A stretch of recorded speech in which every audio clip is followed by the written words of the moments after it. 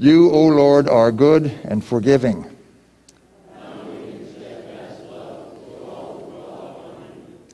Give ear, O Lord, to my prayer. Listen to my plea for grace.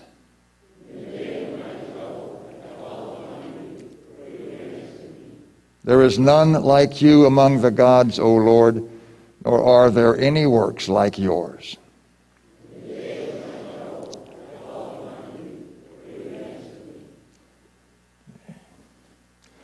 You are great and do wondrous things. You alone are God.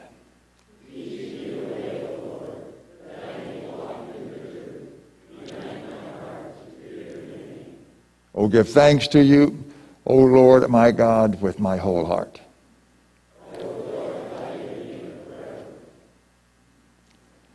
Baptized into Christ, we are welcomed into the gates of God's presence. Today, we hear the most important commandment Hear, O Israel, the Lord our God, the Lord is one. And you shall love the Lord your God with all your heart, and with all your soul, and with all your mind, and with all your strength. The second is this you shall love your neighbor as yourself. Let us confess our failure to keep these commandments and plead to God for help. I, a poor sinner, plead guilty before God all my sins. I have lived as if God did not matter and as if I mattered most. I have not honored my Lord's name as I should. My worship and prayers have faltered. I have not let his love have its way with me, and so my love for others has failed. There are those whom I have hurt and those whom I have failed to help. My thoughts and desires have been soiled with sin. Almighty God, have mercy upon me, forgive my sins, and lead me to everlasting life. Amen. Do you believe that my forgiveness is God's forgiveness? Let it be done for you as you believe, in the stead and by the command of my Lord Jesus Christ in his name and by his authority, I forgive you all your sins in the name of the Father and of the Son and of the Holy Spirit. Amen.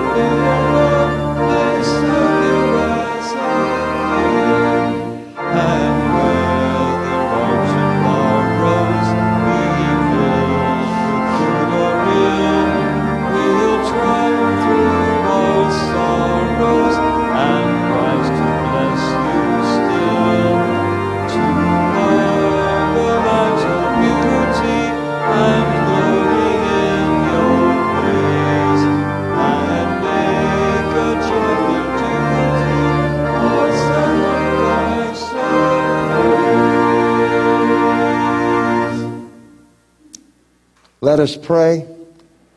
O God, you make the minds of your faithful to be of one will. Grant that we may love what you have commanded and desire what you promise. That among the many changes of this world, our hearts may be fixed where true joys are found. Through Jesus Christ, your Son, our Lord who lives and reigns with you and the Holy Spirit, one God, now and forever. Amen. Please be seated. This time we invite the children forward for Mr. Keel and the children's message.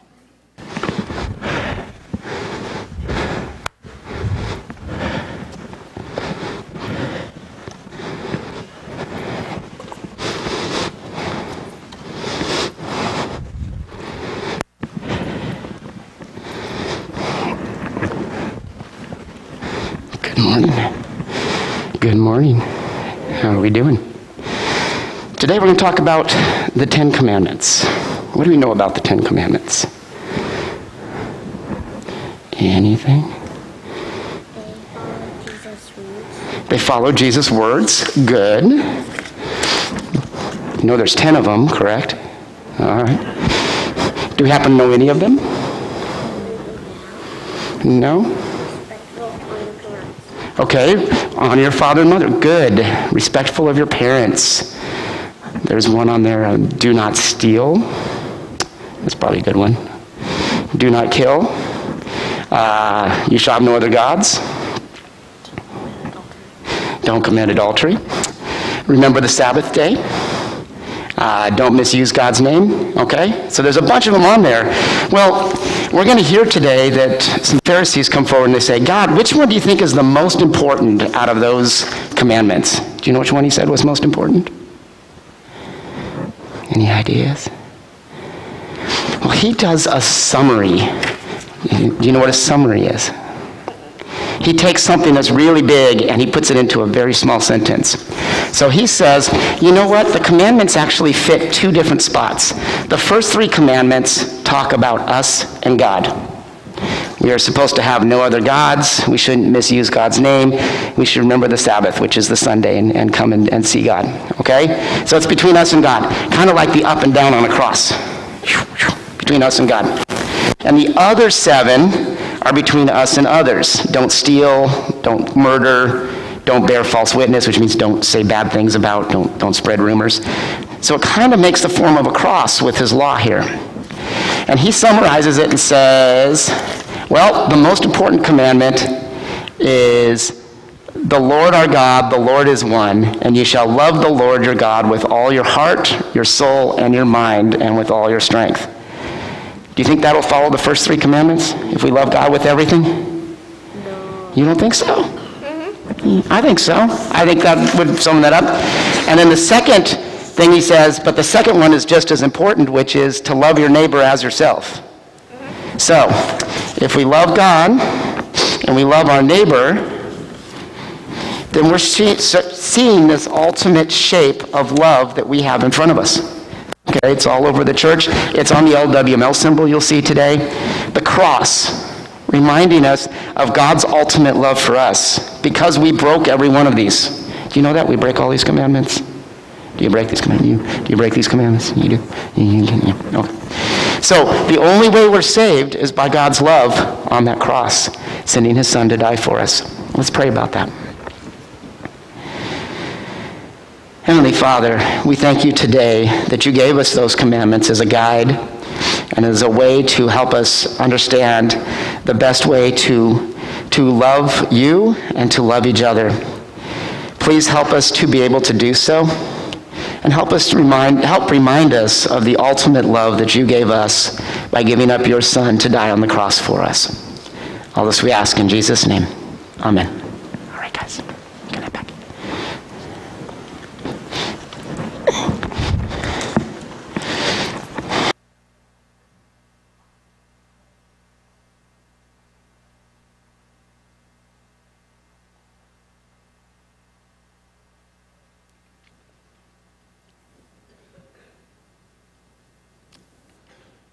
first lesson is from the book of Ezekiel, chapter 36. This is not just God speaking to the Old Testament people a long time ago. He addresses it to Israel because you are the new Israel, God's people today.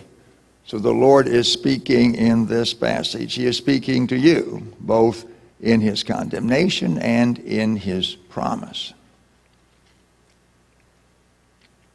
Ezekiel, speaking for the Lord, says, Therefore, say to the house of Israel, Thus says the Lord God. It is not for your sake, O house of Israel, that I am about to act, but for the sake of my holy name, which you have profaned among the nations to which you came. And I will vindicate the holiness of my great name, which has been profaned among the nations, and which you have profaned among them. And the nations will know that I am the Lord, declares the Lord God, when through you I vindicate my holiness before their eyes. I will take you from the nations and gather you from all the countries and bring you into your own land. I will sprinkle clean water on you, and you shall be clean from all your uncleanness. From all, all your idols I will cleanse you, and I will give you a new heart and a new spirit I will put within you. And I will remove the heart of stone from your flesh and give you a heart of flesh. And I will put my spirit within you and cause you to walk in my statutes and be careful to obey my rules. The word of God for the people of God. The second lesson is from the book of 1 Peter, the first chapter. This second lesson picks up on the, on the first lesson and expands the idea of what God has done and is doing in the lives of his people. Peter writes, Knowing that you were ransomed from the futile ways inherited from your forefathers, not with perishable things such as silver or gold, but with the precious blood of Christ, like that of a lamb without blemish or spot. He was foreknown before the foundation of the world, but was made manifest in these last times for the sake of you who through him are believers in God, who raised him from the dead and gave him glory, so that your faith and hope are in God. Having purified your souls by your obedience to the truth for a sincere and, and brotherly love, love one another earnestly from a pure heart. The Word of God for the people of God. Please rise for the Alleluia verse and the reading of the Gospel.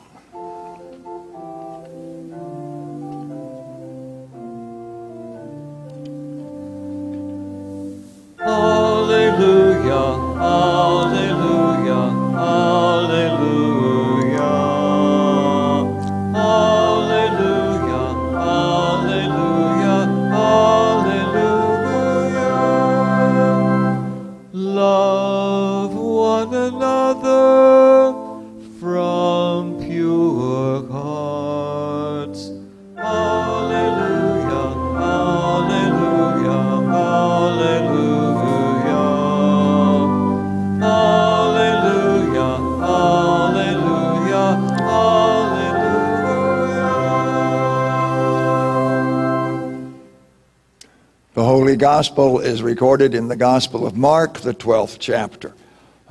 Here, the scribe is looking to Jesus for uh, the, to name the greatest commandment, and instead, as, as, uh, as Peter Keel said just earlier, instead, Jesus gives a quick summary of the entire law love God, love others. And one of the scribes came up and heard them disputing with one another and seeing that he answered them well, asked him, Which commandment is the most important of all? Jesus answered, The most important is, Hear, O Israel, the Lord our God, the Lord is one. And you shall love the Lord your God with all your heart, and with all your soul, and with all your mind, and with all your strength. The second is this You shall love your neighbor as yourself. There is no other commandment greater than these. This is the gospel of the Lord.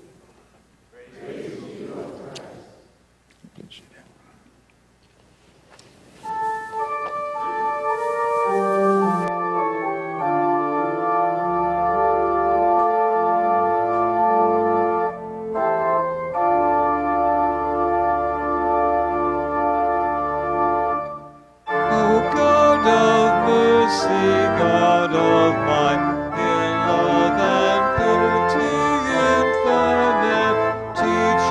As ever in thy sight to live our lives in thee.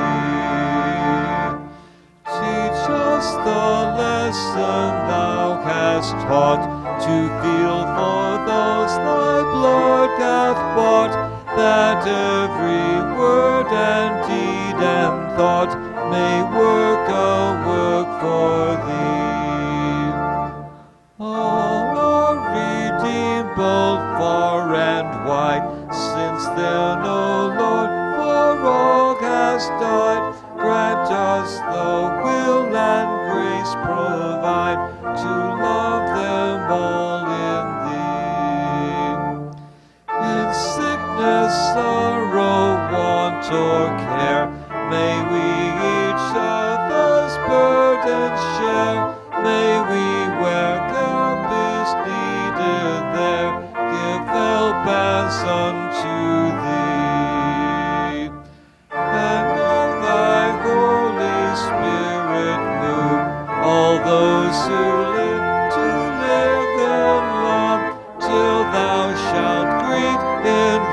above all those who live in thee.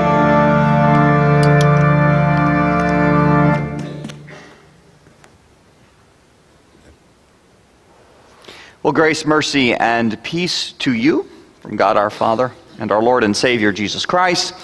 Amen. Recognize who God is, love Him, and love each other. It's simple, right? Hmm? It's nothing new, actually. I mean, oftentimes we might see this phrase in church marketing somewhere and we think, wow, that's pretty profound. It's, it's been around for quite some time. Uh, beyond the sacred earliest of the Jewish prayers to the giving of the law, all the way back to the creation of the world. You see, after all, love God, love each other. This was the original way of life, well before Adam and Eve, our first parents, rejected their Creator. This was the intended blueprint love God, love one another. This was his blueprint for all of God's creation for us to love our Creator and to have that love lived out in love to one another. Love God, love another. This was the answer posed to the question by the scribes to our Lord from today's text in Mark 12, which was just read. Now, a little background here. The, the scribes, they were, they were kind of like the professionals of the day. If you, if you take a little bit of a lawyer and a judge and a professor and a researcher and you blend them all together, and then you sprinkle in someone who was fluent in languages, reading, writing, all that good stuff, you would have the scribes. They were the academy of the day, if you will. And so, as Jesus was in town and they found that he was answering his, their questions very well, one of the scribes asked Jesus a question that was rooted in the law, in the intent, in the spirit of it, if you will. Now, you know, people like to assign all levels of importance to things, don't we? We like to create a hierarchy. This is first, this is second. This is the most important thing. This is the idea that is above all. We want to know what is best, what is important, what is first. In this case, the scribe's question kind of lended itself to that. What is the most important commandment? Jesus' response, of course, was a confession that everyone would have recognized immediately from Deuteronomy 6 The Lord our God, the Lord is one. This confession of who the Lord is from that sacred prayer known as the Shema starts with acknowledging the nearness of the kingdom, recognizing who our Lord indeed is, that He and He alone is God. And from this confession about Him, Jesus begins to uh, further explain, if you will, a command or two commands, or a command in two parts, however you wish to look at that. The important thing is this love God, love another. Love God. We are to love our Creator with everything that we have, everything that we are. There is simply no ambiguity here, no way to mistake it. God demands nothing short of absolute adoration and complete devotion in what we think, do, and say. We are to love one another. In the same way, we like to always look out for number one. We are to love those whom we encounter our neighbor, each other, in the same manner that we look out for ourselves, if, if not even better. It is not simply enough to consider them or to think about them. We are to treat them as we would treat ourselves, and even better, with the same level of importance, dedication, and concern that we have for our own well being. Love God, love your neighbor. That's the whole law in a nutshell. Are you getting uncomfortable yet? Hmm? I know I am. What started out as a nice phrase, as a marketing slogan, as, and then we realized was actually in existence from all of history, actually turns out to be quite a command. A command that simply we can't keep. The reality is, as much as I say I love God, as much as I want God to be first in my life, and I think He is, I often don't live that way, let alone think this way. And as much as I like to think that I love my neighbor, all it takes for me is to start thinking about another person, maybe what they said or did, and I start to get all judgy. The problem, though, is when that demand is given to love God, to love one another. The first thing I do is I look into myself, right? We look into ourselves to meet that demand of the law. How can I love God? How can I love each other? What is the things that I can do to fulfill this? But ultimately, it's not a matter if we can keep this command. We simply cannot. The question is, how long does it take us out, take us to figure out that we fail in each and every way at loving God and loving another, at least in our own strengths and abilities? The time has come for us to stop looking at ourselves for the answer, to the solution, to that ability to meet these commands, these demands of the law. Instead, let's look to Him. He who can help us. You see, Jesus came for this reason. He became one of us so that he can rescue us from this trap of thinking that somehow we can do this. He alone loved God with his entire heart. He alone lived a perfect life. He alone loved his neighbor as himself, if even not so much more, because he went to the cross for them. The Son submitted himself to the will of his Father. He fulfilled the law, each and every aspect of it, in every single way. He did all of this because we couldn't do it, even though we must do it. You see, Jesus and what he has done for you and for me, he gives to us as a free gift. He delivers us from the law's demands and threats. Because when the law says, love God with all your heart and your neighbor as yourself, or else, we say, we can't do this. But Jesus says to you and to me, I have done it for you. This completed work of Christ comes to you and to me today from his perfect life through the cross, through the waters of your baptism. The perfection that is required of this commandment love the Lord your God with your whole heart, with your whole mind, and with your entire being. that completion, that perfection that Jesus lived, how he loved his heavenly Father perfectly, comes to you through the cross, through your waters of baptism. And now his perfect love in thought, word, and deed to the Father becomes yours. The perfection that is required of this commandment love your neighbor with your whole heart, mind, and being is given to you today from the one who lived and loved others perfectly, even to the point of death for them. This love for others, this completion of the command, comes to you from him who went to the cross, who loved others perfectly. That completed work of Christ is counted to you through the waters of your baptism. And now his perfect love for others in thought, word, and deed is your perfect love for others in thought, word, and deed. Love God, love others.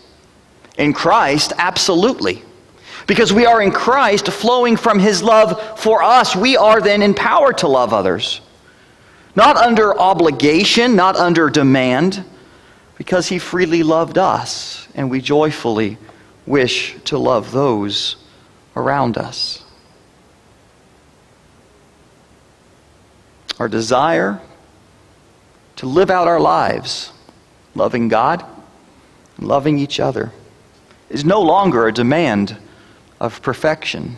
On the contrary, because of what Christ has done for you and for me, it is a perfect expression of how Christ lived his love for us and for you and how we indeed can, in Christ, love God and love others for his sake. Amen.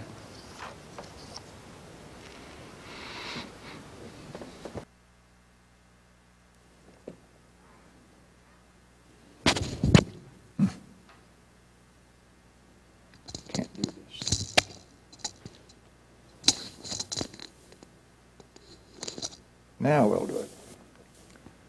Please rise. The creed is the church's word in response to the word of God. So let us join together today confessing our faith in the words of the Apostles' Creed, one of the earliest organized statements of Christian belief. People of God, what do you believe? I believe.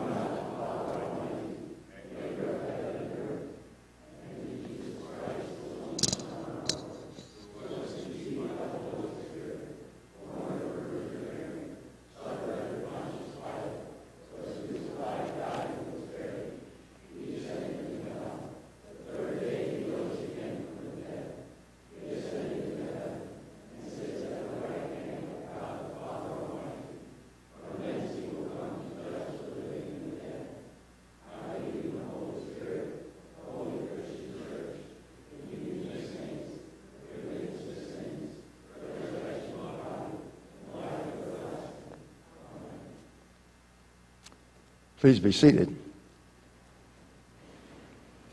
This time I would invite uh, to come forward the officers of the uh, LWML, the Lutheran Women's Missionary Society. Jane Barnhart, uh, President, Edie O'Brien, Vice President, Marge Murray, Secretary, Dorothy Ford, Treasurer.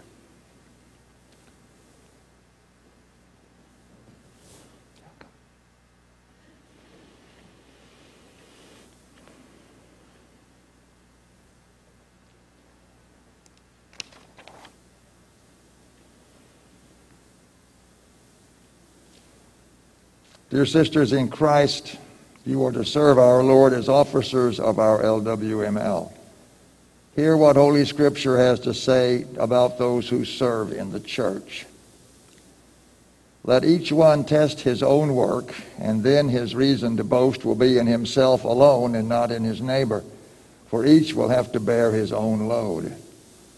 Let us not grow weary in doing good, for in due season we will reap if we do not give up. So then, as we have opportunity, let us do good to everyone, especially those who are of the household of faith. In the presence of God and of this congregation, I install you as officers of the LWML in the name of the Father, and of the Son, and of the Holy Spirit. Amen. We now invite uh, the rest of the LWML uh, to come forward, please, uh, lining up here across the front. So, all of those who are in the LWML, if you could come down this morning.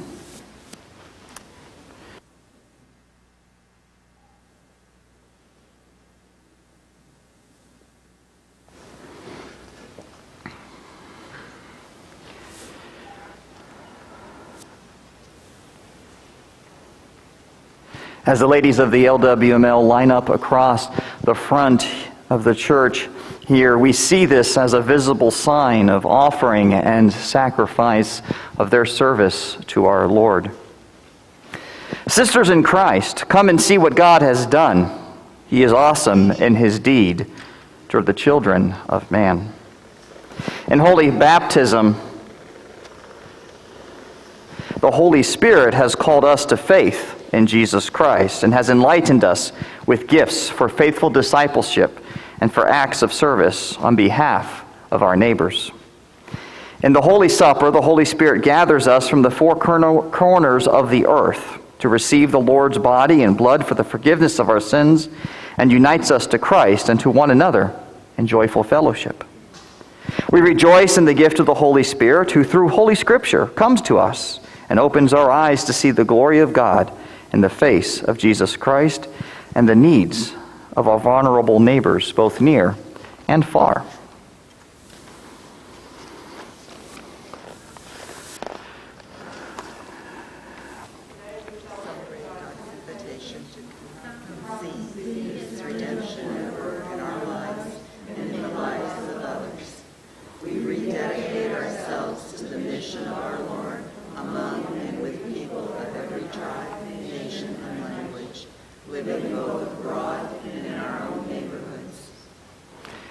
Let us pray. Almighty and most merciful God, you have showered your people with many and various gifts. We thank you for calling these women to declare your glory amongst the nations here and abroad through their faithful witness and loving hospitality.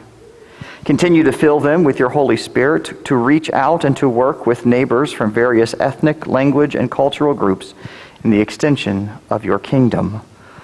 Amen. Amen.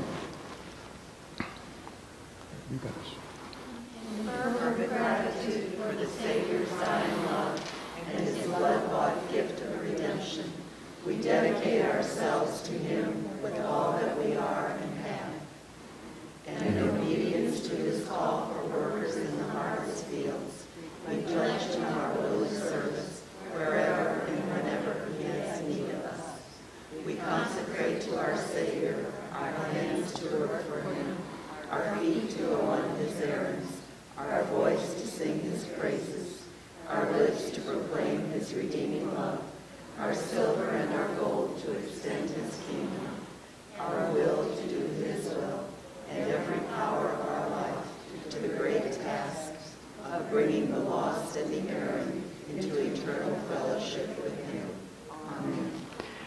Sisters in Christ, be strong and courageous, for the Lord your God is with you wherever you go.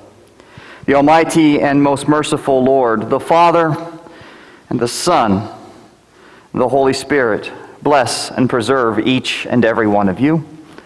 Amen. Amen. You may return to your seats.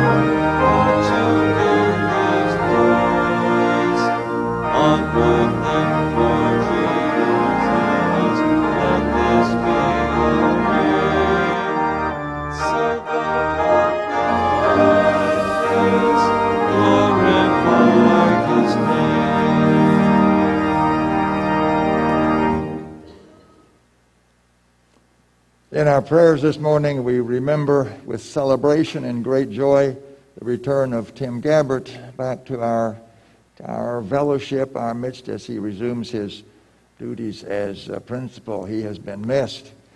We also remember Dwayne Fritz, who has entered into hospice care, uh, Ginger Coates, who is undergoing surgery this week, and the Apple family as they anticipate the arrival of baby Philip. Let us rise for prayer.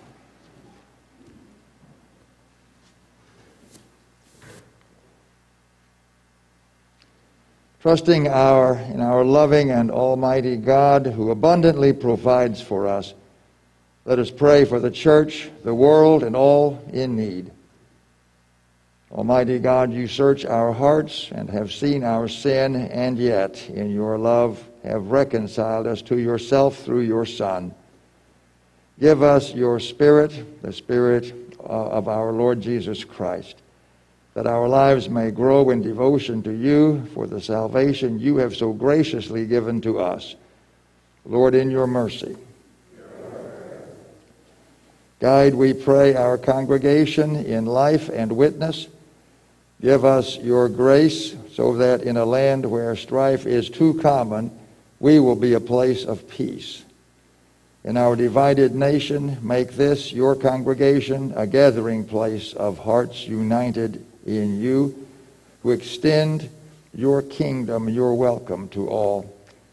Inspire all the members of your congregation to love this place where your name is invoked and your grace proclaimed. Lord, in your mercy, for the mission of the Lutheran Women's Missionary League in this congregation and throughout the world, that every heart will beat with your love and all hearts extend your hand of service to others. Through the faithful gathering of mites, may Lutheran women in mission continue to encourage us to put all that you have given us into the mission of reaching the lost and erring. Lord, in your mercy, for the daily bread that sustains us in life, for food and health, for housing and clothing, for employment, for moderate weather, for justice and peace in our community and nation, that in every time of abundance and time of need, we may know your peace in our hearts. Lord, in your mercy. Comfort, O Lord, all who are in trouble, or want, sickness, or any other adversity, or though and though and we celebrate those who have overcome these things with by your power and grace. We remember especially Tim Gabbert as he returns to us, Dwayne Fritz, Ginger Coates, and the Apple family. Grant healing, courage, and steadfastness to all where it is needed, and especially those who suffer for your name's sake. Lord, in your mercy. Into your hands, O Lord, we commend all for whom we pray, trusting in your mercy for the sake of Jesus Christ our Lord. Taught by our Lord and trusting in his promises, we are bold to pray, Our Father, who art in heaven.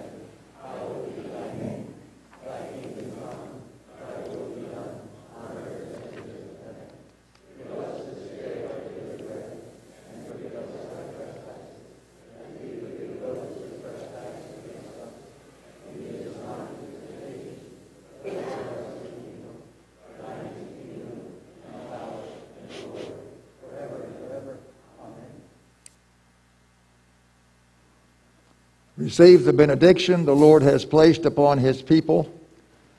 The Lord bless you and keep you.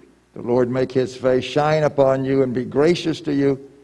The Lord lift up his countenance upon you and give you peace. Go in peace. Serve the Lord. Thanks be to God.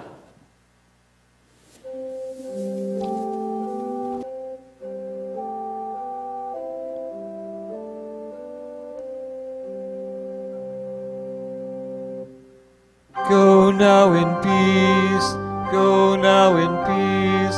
May the love of God surround you everywhere, everywhere you may go. Go now in peace, go now in peace. May the love of God surround you everywhere, everywhere